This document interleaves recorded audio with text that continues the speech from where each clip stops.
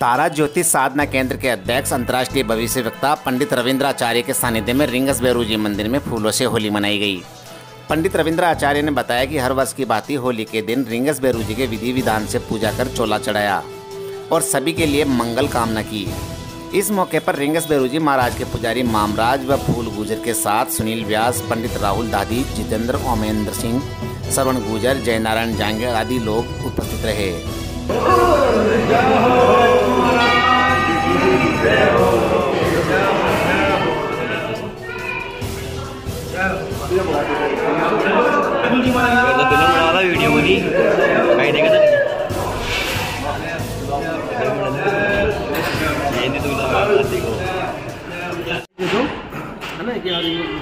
आज दिवस के विजय मंदिर में हमारे रविंद्र जी आचार्य जी महाराज पुजारियों के साथ उल्लू के साथ होली खेली है इसके लिए बहुत बधाई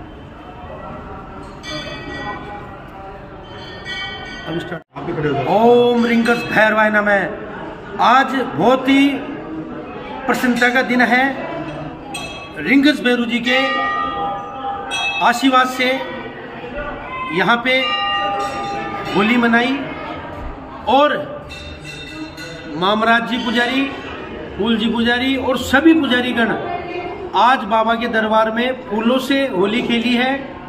सभी देशवासियों को मैं बधाई देना चाहता हूँ कि होली का जो त्यौहार है, वो प्रेम और उल्लास का दिन है तो सभी को मिलजुल कर रहना है।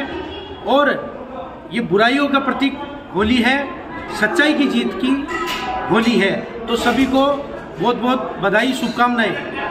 आज ज्योतिषाचार्य रविंद्र जी आचार्य के सानिध्य में हमने मंदिर भैरू जी बाबा परिसर में होली खेली है।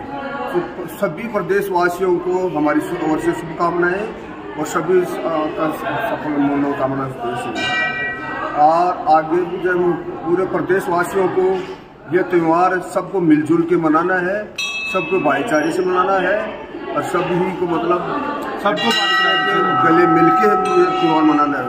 ये बुराई के हार और अच्छाई की जीत के लिए ये त्यौहार सभी देशवासियों को हमारी कामना है बोलो भैरू जी महाराज की